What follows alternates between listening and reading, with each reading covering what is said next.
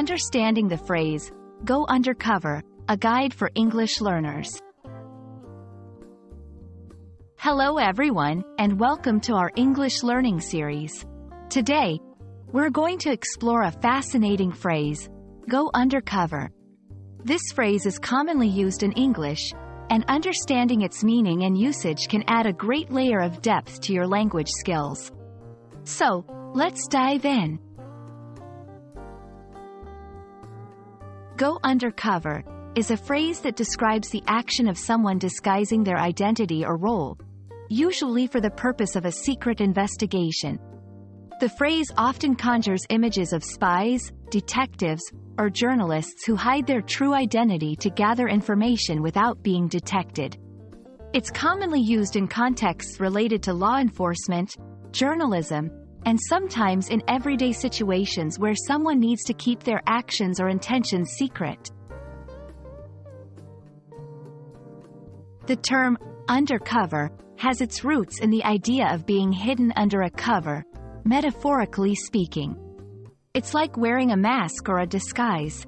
In movies and books, characters going undercover might change their appearance, assume a false name, or pretend to have a different job.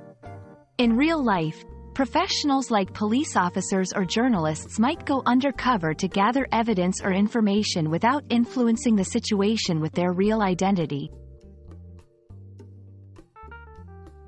Let's see how go undercover is used in sentences. 1. The detective had to go undercover to infiltrate the smuggling ring. 2. For her latest article, the journalist went undercover in the company to expose the truth. 3. Sometimes, in order to understand your customer's experience, you need to go undercover and visit your own store anonymously. Some synonyms or similar phrases include work incognito, emphasizes on the hidden identity aspect.